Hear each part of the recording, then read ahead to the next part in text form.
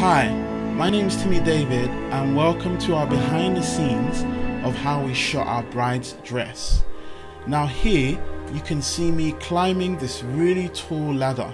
Um, it's more taller than it looks, it's probably around 10 to 11 foot, um, but I'm climbing it up to put the dress up, um, which I have, and this is the final look of the dress once it's up. Beautiful, right?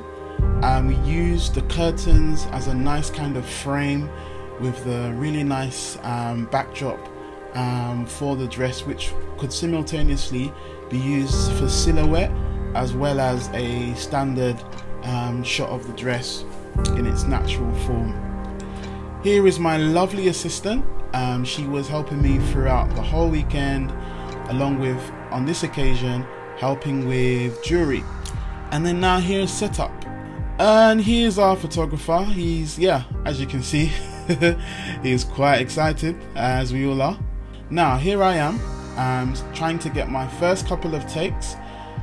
Oftentimes, on a wedding day with preparations, we would normally get a couple of takes so that we get it just right. Here's more of a standard look. In case you're wondering how it looks on camera, here we go. So it looks nice, right? It's just our first more standard look, um, just so that we have something on camera. And now I'm looking for more creative angles where we can see more of the train of the dress. Oftentimes, brides invest so much in their dresses and they just want it to be captured with creativity, which is where I'm now trying to see how I can get more creative shots. Again, this is another opportunity that I see. Um, we call this a revealing shot where you kind of hide the camera behind something and you bring the camera out really slow to reveal the importance of what you're filming. Um, and this is the final look. And then lastly, I now have the awesome work of bringing down the dress as safely as possible. In this scenario, it was very easy because I have my team.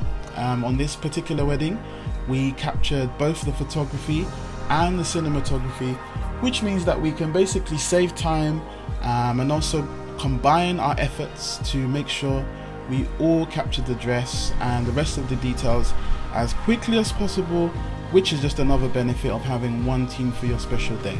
Now, thank you for watching, and if you want to have your wedding captured in a memorable way that helps you relive your wedding in years to come, then please feel free to follow the link below. Till then, Thanks for watching.